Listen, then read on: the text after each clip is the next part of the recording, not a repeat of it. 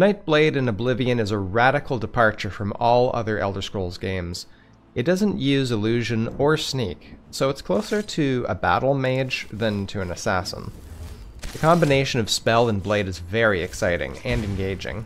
I felt like I was powerful and had lots of options throughout the game. I opened combat by casting flesh and cloak spells, and mainly stuck to Chain Lightning and my sword, with the occasional Paralyze spell for especially annoying or powerful enemies like Briarhearts. The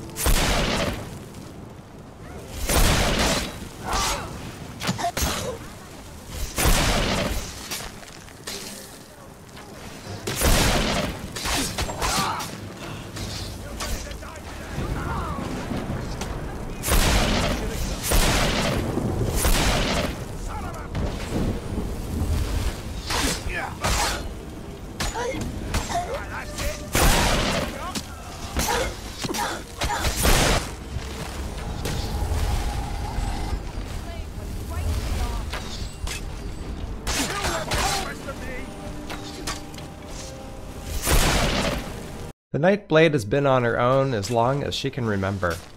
She's a very neutral person and has no particular interest or malice toward anyone or anything in Skyrim. She'll help or hurt someone if it suits her at the moment. She will sell any gear she picks up that she can't make immediate use of, but she's not interested in coin either. Her main interest lies in practicing and honing her skills in open combat.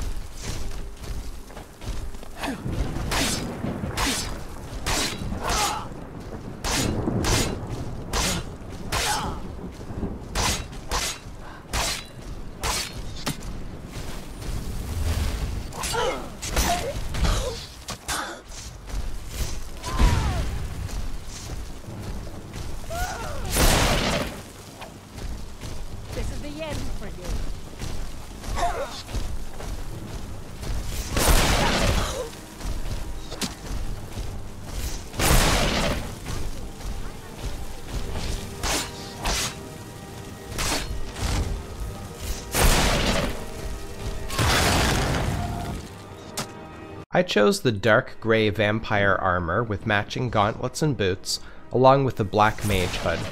This hood can only be equipped via console commands. I also got my hands on the Ring of the Erudite and decided to go with a necklace of grounding to make my Nightblade nearly immune to shock damage. Oh.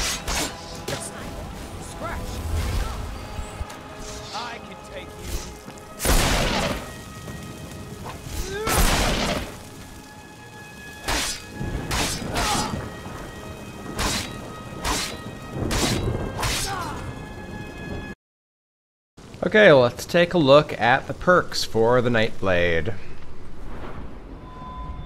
So obviously destruction is a key part of the build. I decided to go with shock magic. So just pretty much went right up the path here. More power, more power, more power. This is an interesting one. Causes 5 points of irresistible fire damage per second for 4 seconds if you hit someone that is not resistant to fire. So that's kind of cool. Magnetize is absolutely awesome. You saw that in the gameplay footage where I'll attack somebody and they will just lift up into the air. Electroconvulsions, again, saw that multiple times in the gameplay section where they were shaking around on the ground.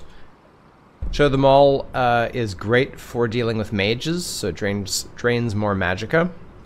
And absolute power is when you aim any of the um, lightning based spells at a target, you can magnetically levitate them in front of you for 10 seconds. Now, I didn't find this worked 100% of the time.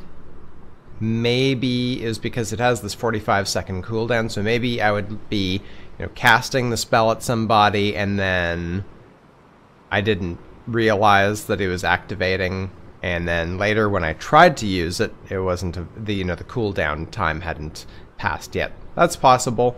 I just didn't really notice this, but I'm sure it activated quite a few times.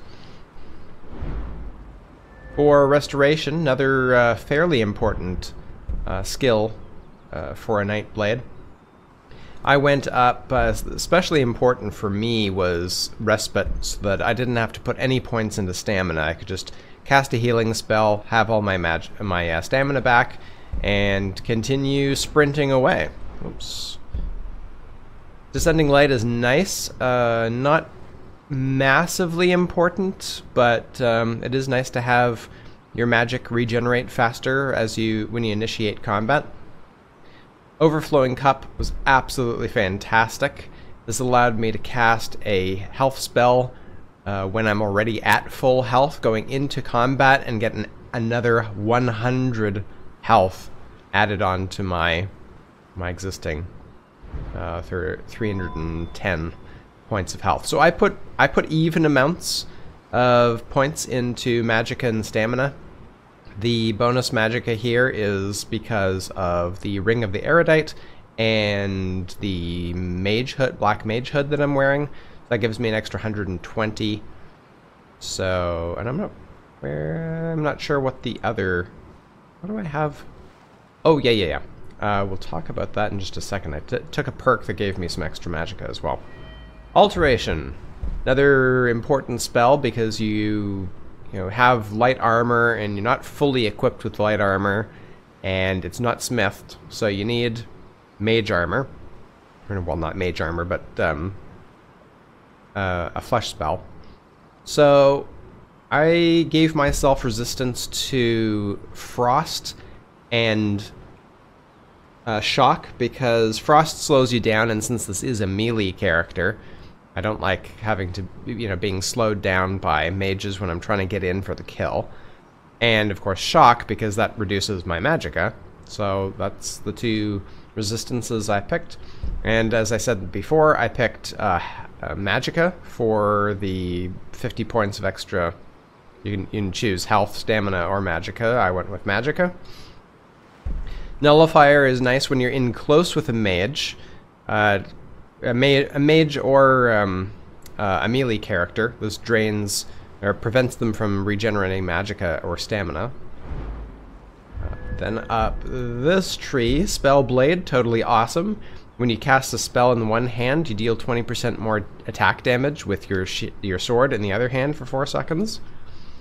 Energy Royal. Whenever you cast a spell with one hand, it reduces the armor of nearby enemies within 10 feet by 150 points for 4 seconds. Another awesome Spellblade type of uh, perk.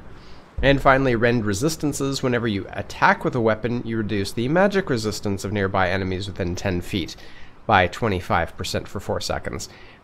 Uh, in my opinion, it would be nice if this was a little bit a little bit bigger, because 10 feet is basically, you know, they're right on top of you. So sometimes you don't get to fire off too many um, spells because they do take a, a, split second to charge, and you could get hit. And anyway, a little bit a little bit more distance would be nice, but it is what it is. And finally, for alteration, Wild Shrines is not necessary, but it went up to Wellock's Dormant Arcana. And I chose Armor as the activating spell. So whenever I had my Flesh spell activated, it would add um, 2% magic regeneration, 2% health regeneration, and a bonus 50 points. I believe it's of magicka. Let's just see. Whoops.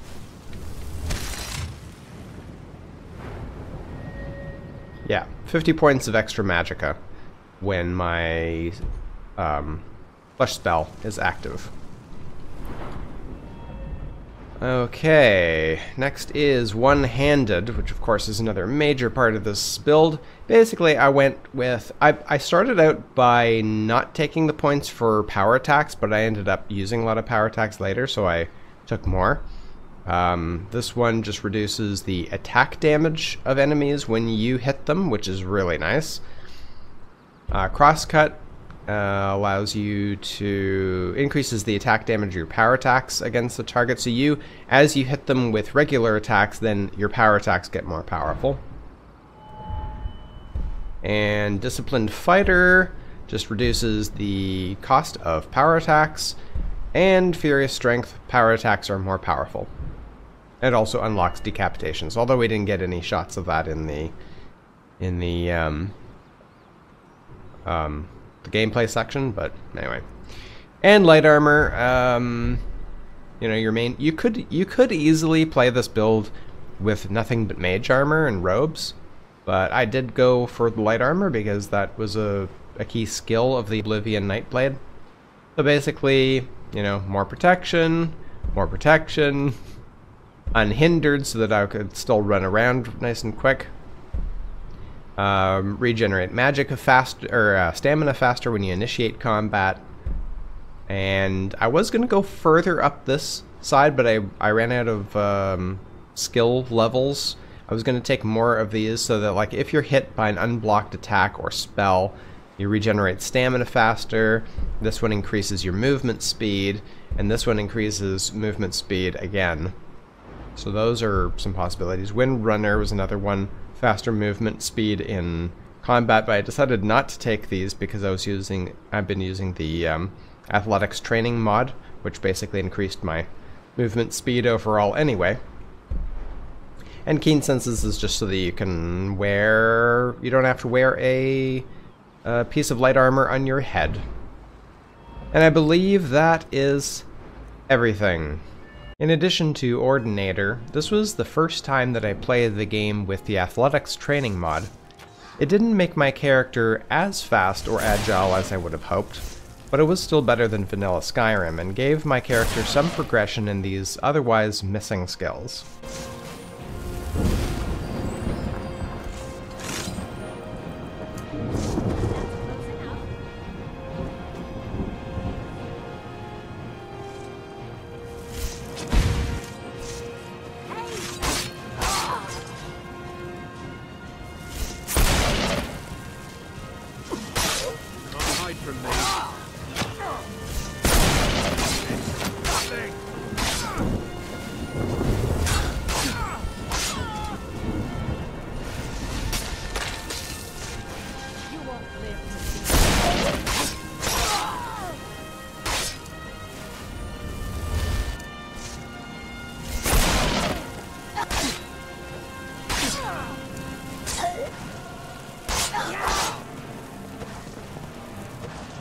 the end.